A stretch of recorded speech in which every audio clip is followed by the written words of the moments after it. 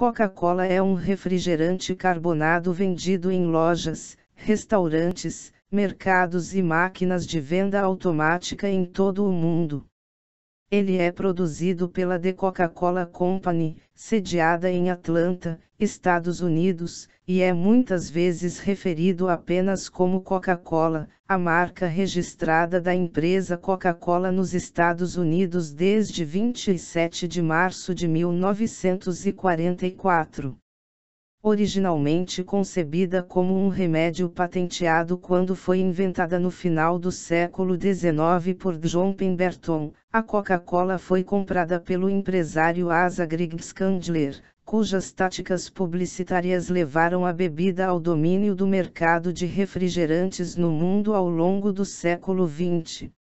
A empresa produz o produto concentrado, que depois é vendido para engarrafadores licenciados pela Coca-Cola em todo o mundo.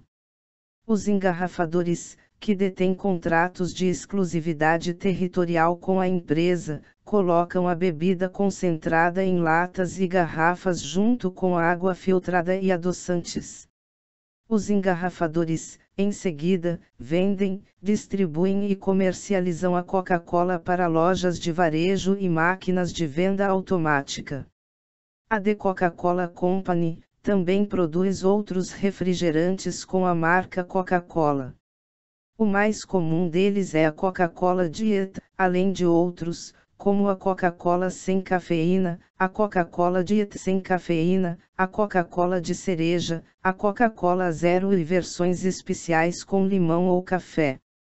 Em 2013, os produtos Coca-Cola podiam ser encontrados em mais de 200 países ao redor do mundo, com mais de 1,8 bilhão de doses de bebidas da empresa consumidas diariamente. Um com base na pesquisa da Interbrand em 2011, a Coca-Cola foi considerada a marca mais valiosa do mundo. 2.